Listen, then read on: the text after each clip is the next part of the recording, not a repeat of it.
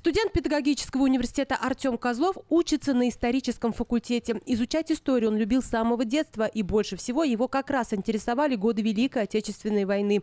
Именно поэтому он решил стать волонтером 800, чтобы помогать в организации акции «Бессмертный полк-2021» и побольше узнать о героях, которые одержали победу. До этого работаешь с книжками, а тут живые люди, которые прошли какой-то боевой путь. Еще даже некоторые живы до сих пор это даже мурашки иногда по коже идут. В 2020 году из-за сложной эпидемиологической обстановки и невозможности провести марш «Бессмертный полк», ставший доброй традицией Дня Победы, было организовано онлайн-шествие. Трансляция шествия длилась тогда почти 20 дней. Ее посмотрели около 25 миллионов человек во всем мире. Было подано свыше 3 миллионов заявок. В этом году организаторы акции решили повторить онлайн-шествие. А волонтеры 800, в основном это студенты Нижегородских медицинских вузов будут помогать участникам правильно оформлять заявки. Сейчас они проходят обучение, как именно проверять эти заявки. Человек заходит и оставляет на одном из ресурсов, да, там, соответственно, либо в социальных сетях, либо на сайте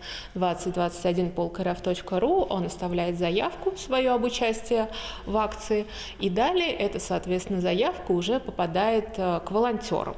И они эту заявку проверяют, правильно ли фотография, правильно ли заполнены там фамилия, имя, отчество. Они смотрят, чтобы ну, на заявке была фотография пользователя, во-первых, реального человека, да, и что это ветеран, чтобы это была ни в коем случае не хулиганская фотография. Сейчас я проверяю дату рождения, чтобы он проходил и фамилия, имя, отчество ищу в интернете. Действительно есть такой. Заявки необходимо подать до 7 мая до 10 часов утра включительно, а само онлайн-шествие состоится непосредственно 9 мая в День Победы. Наталья Лисова, Максим Веселов. Время новостей.